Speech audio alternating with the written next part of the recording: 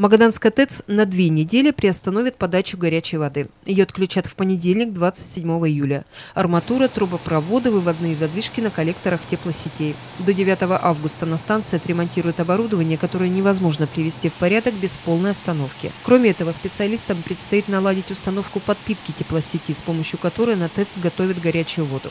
Это позволит обеспечить надежную работу оборудования в пиковые нагрузки. Компания по подготовке к предстоящему отопительному сезону на Колымской ТЭЦ стартовала несколько месяцев назад.